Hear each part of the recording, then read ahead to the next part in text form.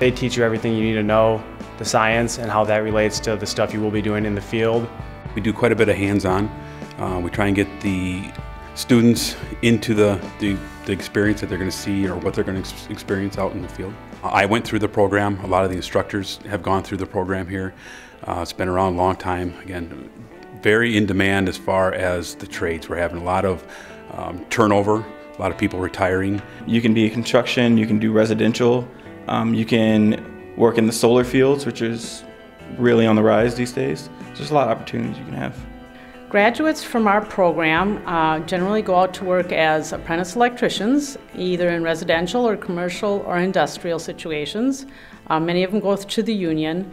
Um, and you can also go into electrical estimating and electrical sales, working for the wholesale houses.